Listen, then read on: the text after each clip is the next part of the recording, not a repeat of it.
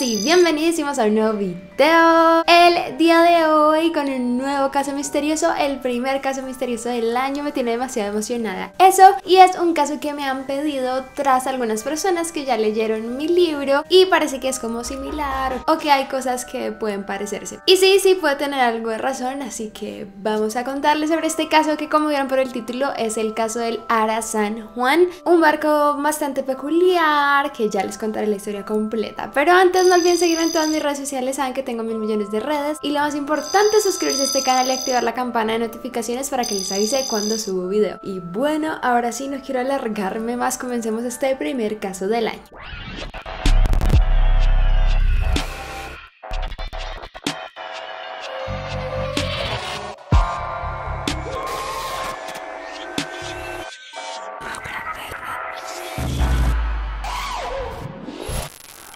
Misterioso caso de Lara San Juan.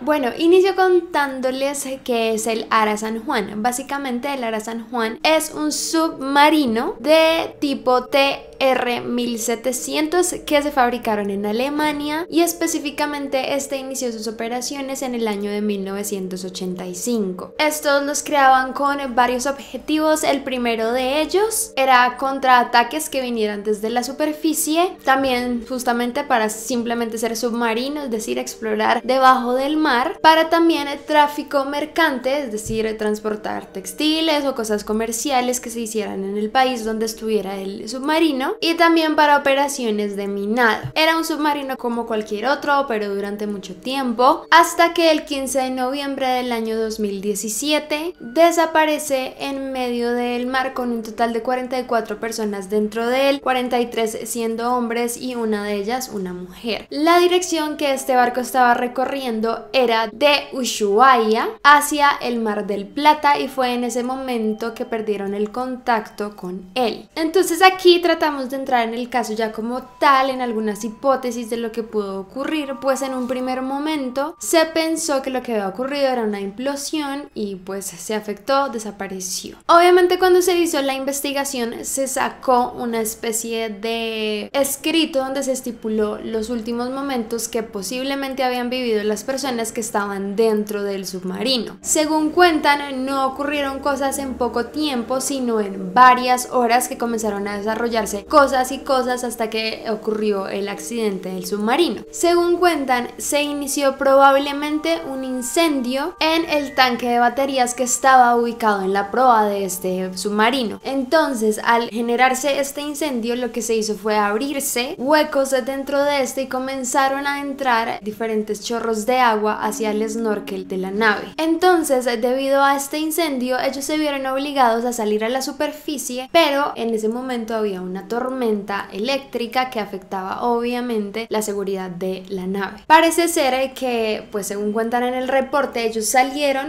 duraron varias, varias horas tratando de sacar el humo y todo lo que venía del barco adentro para lograr repararlo y ya cuando lograron controlarlo volvieron a hundirse mientras hacían algunos ajustes y unas cosas y otra vez volvieron a pues entrar dentro del mar, valga la redundancia. Según cuentan, lo que ocurrió es que nuevamente se provocó el incendio y obviamente esto ya causó pánico, ya no podían controlarlo de la manera en que se esperaba, así que salir a la superficie también sería nuevamente un problema. Estos son hipótesis, simplemente lo que ocurrió y se dice que ahí ya el submarino se quemó, se hundió, se perdió en el mar para siempre. digamos que estas hipótesis quedan, las hablan es porque ya han ocurrido cosas similares con otros submarinos, incluso eso pasó también en el año 2004 con un submarino canadiense llamado HMCS Chico Timmy. Parece ser que unos cables como que se cruzaron, provocaron un incendio y ellos también iniciaron como estas operaciones tratando de navegar. Sin embargo, a diferencia del Lara San Juan, este barco sí llegó a el lugar que tenía destinado con dificultades y todo, pero sobrevivió. Entonces, después de que desaparece este submarino, inicia una búsqueda que dura un total de 15 días y resultado alguno. Buscaron por todo el mar si es que se había hundido más, si es que se había despedazado, explotado, o sea, cualquier cualquier cosa que hubiera ocurrido si hubiera tomado otra dirección, pero no tuvieron resultados. Entonces acá inician las hipótesis de lo que posiblemente ocurrió con el barco, aparte de la que ya se pensó. Como les digo, esta primera es la del fuego, que se pensó que se incendió el barco, no lograron recuperarlo y simplemente pues afectó todo y se hundió. Parece ser que dentro de esta explicación también tienen una de las últimas comunicaciones que se dieron con el barco en donde parece ser que uno de los integrantes dice que hay un problema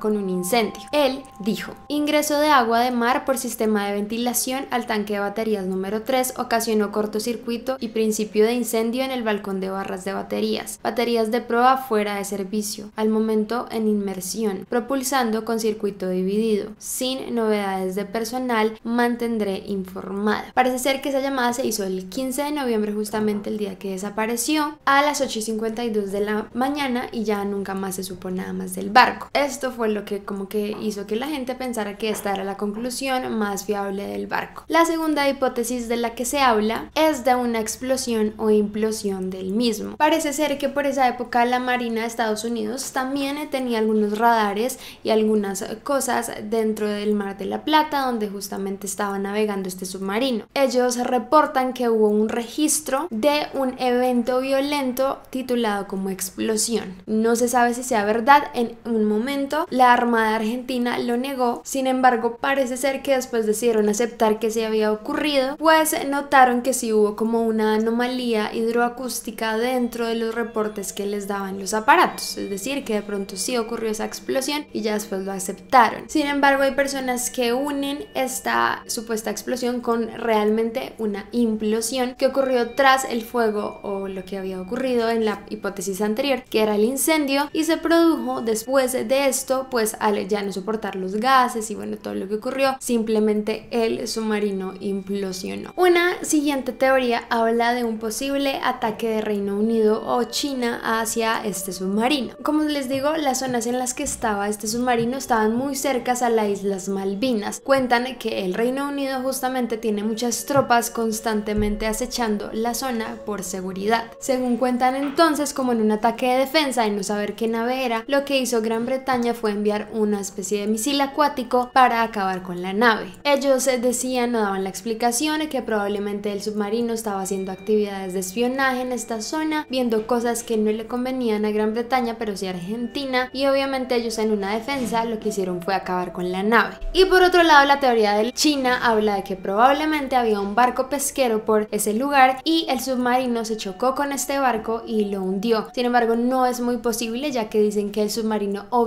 era mucho más fuerte, más grande que cualquier barco pesquero que exista. Otra teoría habla de que probablemente fue derribado también o atacado, pero en este caso por sus propios aliados o sus amigos. Dicen que de pronto en un error de la milicia o de la Armada de Argentina hundieron el submarino sin quererlo y obviamente pues no se podía decir públicamente que habían cometido ese error, así que le decidieron echar como la culpa a la Armada de Gran Bretaña, pero realmente pudo haber sido propiamente de Argentina. Otra teoría habla de que probablemente lo que ocurrió fue que tocó una mina submarina. Como algunos de ustedes saben, otros no, durante la Segunda Guerra Mundial se instalaban muchas de estas minas debajo del mar, pues obviamente para afectar a las tropas enemigas. En este caso, en las Islas Malvinas, obviamente pusieron muchas, muchas minas y dicen que probablemente este submarino cayó en una de estas después de muchos, muchos años. Digamos que se llegó a pensar en esto porque se decía que la nave nunca tuvo problemas ni antes de salir y se pensaba que estaba en perfectas condiciones como para tener una falla técnica y no algo más ajeno que pues hiciera que la nave se hundiera. Otra teoría sobre el hundimiento de este submarino es el caso del USS Scorpion. Parece que en el año de 1968 ocurrió un caso muy similar en donde el USS Scorpion perdió contacto con su base principal. Parece que tras un mes de búsqueda lograron finalmente encontrar la nave a 3000 metros debajo del mar. Obviamente todas las personas desde allí habían perdido perdido la vida y se pensó que algo muy similar pudo ocurrir con torpedos o ataques de otras líneas de submarinos enemigas. En el caso del USS Scorpion nunca se encontró realmente la razón, pero se piensa que pudo ser un ataque de submarino soviético.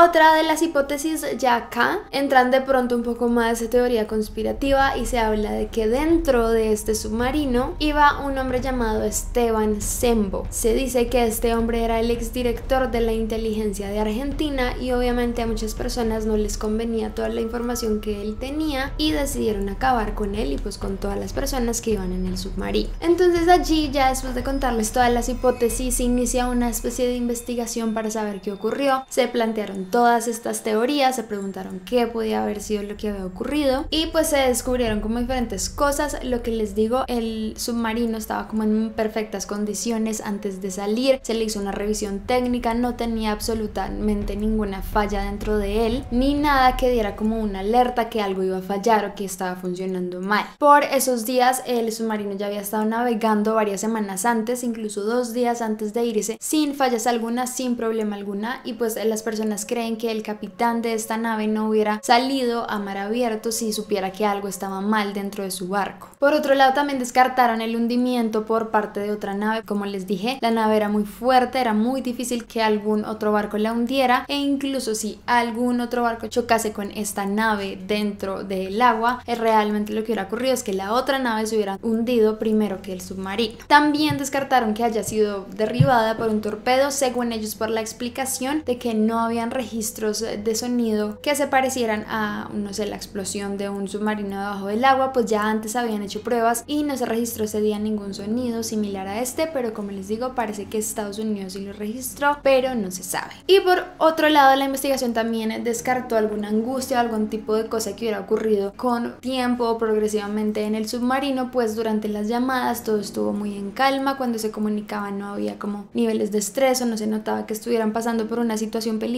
así que pues no piensan que haya sido algo provocado o que haya sido algo de emergencia. Pero acá hay unas inconsistencias respecto a la manera en que se hizo la investigación y es que el gobierno finalmente y pues por la insistencia también de los familiares y de las personas que rodeaban el caso decidieron contratar a una agencia de búsqueda de barcos llamada Ocean Infinity. Parece que estas personas iniciaron la búsqueda, duraron un tiempo y para el 17 de noviembre del año pasado 2018 encontraron finalmente lo que dicen ellos son restos del submarino. Pero acá la inconsistencia es que encontraron a tan solo 900 metros de donde se supone debería estar el barco los restos, cosa que no había pasado en todos los años anteriores y pues obviamente se había hecho una investigación, hicieron una búsqueda y iban constantemente a este lugar y pues antes no estaba y después repentinamente apareció en este lugar. Como les digo, las otras inconsistencias es que el barco estaba en perfecto estado, se dice incluso que una de las personas que iban en el barco había hecho unas reparaciones de media vida del submarino algunos meses antes, lo que hacía que ya estuviera otra vez al 100% para trabajar. Esto le extendía la vida a este submarino otros 30 años y obviamente se le habían cambiado nuevos sistemas, se le habían puesto cosas más modernas estaba perfecto.